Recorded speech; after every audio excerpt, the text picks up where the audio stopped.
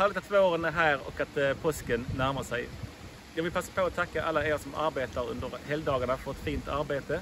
Och jag vill passa på att önska alla er som är lediga en riktigt skön ledighet och att ni njuter av vårvärmen.